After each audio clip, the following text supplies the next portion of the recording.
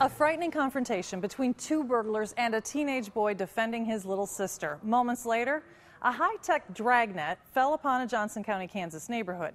KMBC9's Martin Augustine is live. Martin? Laura, as scary as this story begins in a rural Johnson County neighborhood, it ends in part thanks to text messages similar to this one. Text messages that were flying all over that neighborhood, making for a fast moving neighborhood watch.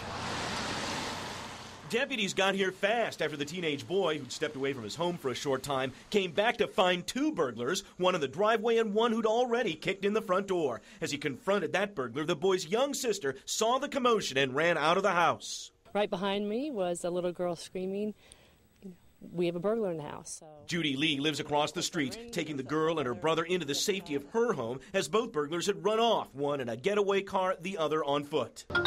At that point, she began sending text messages and making phone calls about the burglars getting into her neighbor's home. I called our neighbors. I've got a neighbor on the far end um, about block and a half away, called her, called the one on the other end, and, and there was a text sent out within about 10 minutes, five minutes, that all the neighbors were aware of it. We would always encourage that. Johnson County Deputy Tom Erickson says that sort of action by the neighbors is just what police need, casting a high tech dragnet to help police hunt for the burglars on the run. It's a ton of extra eyes and ears.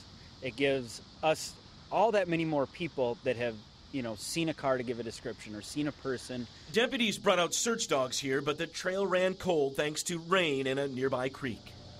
The teenage boy and his sister are unhurt. So far, no arrests.